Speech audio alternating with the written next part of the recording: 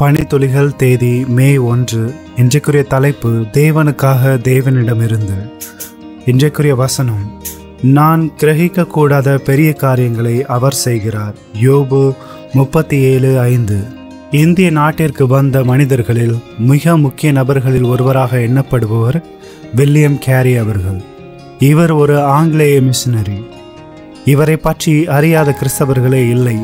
என்று சொல்லும் அளவிற்கு வல்லமையான ஊழியத்தை நமது தேசத்தில் செய்து தேவனுக்காக தன்னுடைய வாழ்வை அர்ப்பணித்தவர். தேவனிடமிருந்து பெரிய காரியங்களை எதிர்ப்பார் மற்றும் தேவனுக்காக பெரிய காரியங்களை செய்.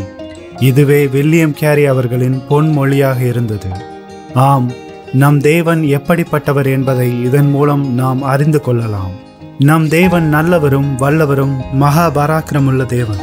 அவரால் செய்ய இயலாத அதிசயமான காரியம் ஒன்றுமில்லை. தேவ பிள்ளைகளாகிய நாம் அவரிடம் சிறிய காரியங்களை அல்ல பெரிய காரியங்களை எதிர்பார்க்கலாம்.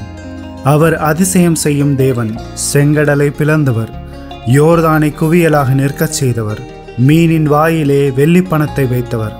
யோனாவை மீனின் வயிற்றிலே இரவும் பகலும் மூன்று நாட்கள் உயிரோடு காத்தவர். நம்முடைய பிரச்சனைகள் தேவைகள் கவலைகள் யாவையும் தேவனால் மட்டுமே மாற்ற முடியும். சாரிபாத் விதவையை வைத்து எலியாவை போஷித்தவர். ஆகையால் தேவனிடம் நாம் பெரிய காரியங்களை வாழ்வில் செய்யும்படி கேட்போம். இதை உணர்ந்த வில்லியம் கேரி தேவனிடத்தில் பெரிய காரியங்களை கேட்டார். கேட்டது போல் தேவனும் அருளினார். அதே வேளையில் நாமும் தேவனுக்கு பெரிய காரியங்களை செய்ய வேண்டும். வில்லியம் கேரி அவர்கள் வேதத்தை இந்திய மொழிகளில் நாற்பது மொழிகளில் மொழிபெயர்த்தார். தன்னுடைய வாழ்நாள் முழுவதையும் அதற்காகவே அர்ப்பணித்தவர். அவரைப் போலவே நாமும் செயல்படுவோம். இந்த நாளிலே ஒரு வில்லியம் கேரி போல நாமும் செயலாற்ற வேண்டும். அவருடைய எண்ணங்கள் செயல்பாடுகள் தேவனுக்காகவே தேவனிடத்திலிருந்து பெற்றவைகளை சரியாக பயன்படுத்தினார். இன்று நாம் தேவனிடத்திலிருந்து பெற்றவைகளை நமக்காகவே உபயோகப்படுத்துகிறோம். தேவனிடத்திலிருந்து கேட்டு பெற்றவைகளை தேவனுக்காக மட்டுமே பயன்படுத்துவோம்.